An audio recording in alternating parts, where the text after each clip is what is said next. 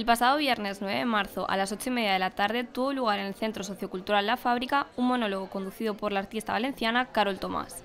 La artista logró hacer reír a los espectadores, sacando a relucir los tópicos que tiene la gente de fuera sobre Valencia y sobre los valencianos, además de tratar otros temas divertidos.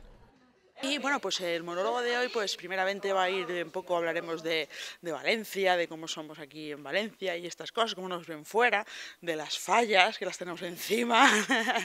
y, bueno, y luego hablaremos de una cosa que me tiene a mí muy, muy loca, que es que yo ya estoy a punto de cumplir 40 y, oye, cómo han cambiado las cosas de cuando éramos pequeños ahora, de verdad, en la educación, en los juegos, las aplicaciones, todo esto. Entonces a nosotros aún nos viene un poco... y los niños controlan que es un primor. Entonces esto me lleva loca a mí.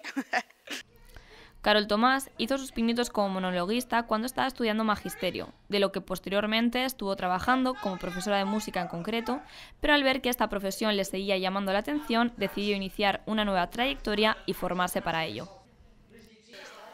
Pues yo empecé, y parece un tópico, pero es así, ¿no? Sustituyendo a, unos cómicos en el, en el pub de unos amigos esto es así. Y bueno, me gustó, pero aún así primero terminé la carrera de magisterio y, cuando ya una vez finalicé la carrera y estaba trabajando de profesora, pues empecé, me seguía gustando, me seguía tal y ya pues empecé pues a, hacer cursillos para prepararme, a hacer concursos, eh, a escribir mis propios textos, a compartir eh, espectáculos con otros cómicos y, poco a poco, bolo a bolo, actuación a actuación, hasta, hasta hoy.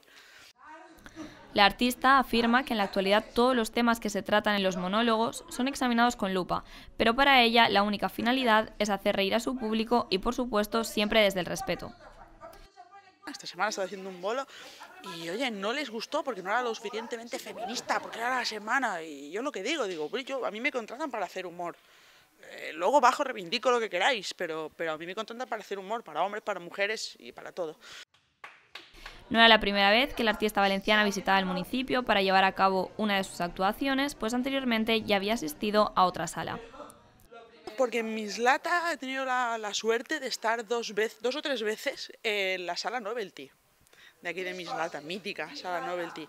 O sea que sí, allí he estado unas veces, y, pero aquí sí, aquí en un sitio tan bonito, es la primera vez y esperemos que vaya todo bien.